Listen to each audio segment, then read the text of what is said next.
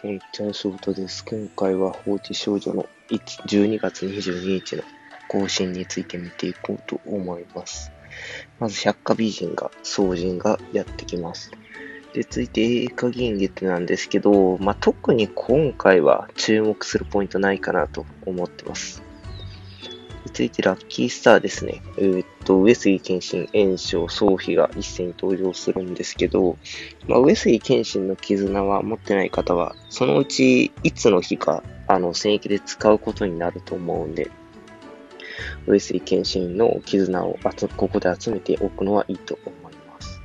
で、次、寝起きの反王ですね。まあ、このキャラも結構、つい最近来たと思うんですけど、また復刻ということで、最近なんか復刻のペース、あの、ちょっと注目のいくキャラばっかに、あの、注目がいってますけど、いろんなキャラ、復刻がかなり早くなっているような気がします。で、次にお正月の、えー去年か一昨年かな、の無料 UR の源の頼光がやってきます。で、えっ、と、これが UR1000 のあのキャラになるんですけど、まあ、ちょっとここ飛ばして、ちょっとかなり飛ばしましたけど、ここですよね。このお正月第3弾。UR1000 はどうでもいいんですけど、あのースペシャル交換にて、ちょっと私この、紅翡翠 ちょっとなんて読むんかなと思って調べたら、ジェイドって呼ぶんですかちょっとジェイドって読むみたいなんですけど、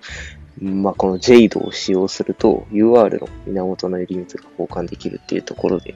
こっちですね、メインは。これで、ちょっと UR のキャラ無料で取れるんで、無料かどうかはちょっとわかんないですけど、このジェイドを使えば無料で取れるんで、あの、皆さん忘れないように、持ってない方は、あの、昔の無料キャラなんで、持ってない方は、ここで取るのを忘れないようにしましょう。で、次にクリスマス参加ですね。流れ星が空を切り晴れた好奇心満々のクリスマス参加、バチョがアンテナにとって最高のサプライズになりますよっていうところで、えーっと、まあ、クリスマスの UR 線、あの、弓章の方ですね、の馬長が来るんですけど、たまあ、多分期待しなくていいですっていうのは、このキャラ、このキャラというか基本的に、ちょっとこの後調教がイベント来るお知らせもあるんですけど、調教のキャラで強かった試しがほとんどないので、まあ、多分、調教専用のキャラだと思うのと、そもそも UR アバターまで無料でもらえるキャラになってるんで、まあ、そんなにここの運営がそういったキャラを強くはしないだろうという、まあ、勝手な目論みですね。まあ、多分弱いです。弓章ですし。弓章ですしってあんま言いたくないですけど、まあ、多分弱いんで取らなくていいと思います。で、調教がやってきます。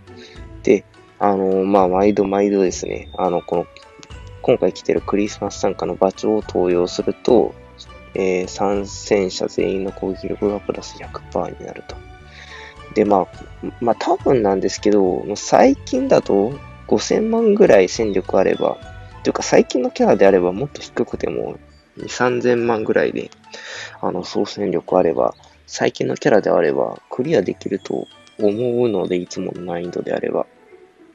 まあ、連れて行ける方は、あの、連れて行ってあげるのを、あの、忘れないように、他の方を一人で行くんじゃなくて、あの、まあ、3人溜まるまでは絶対行かないっていうのを徹底してもらえばいいのかなと思います。で、これなんですけど、あちょっと見切れてますね。あの、今回パンツが、あの、手に入るんで、まあ、このパンツ、あの、防御貫通が上がる、えー思想になっているんで、まあ、私もめちゃめちゃ欲しいですね。ブラと髪飾りと、このパンツは、あの、かなり強力な思想になってるんで、あの、忘れないように、私一回交換を忘れるっていうことをしてしまったんで、まあ、それも忘れないようにしてください。で、えーっと、先ほどの源頼光のスペシャル効果なんですけど、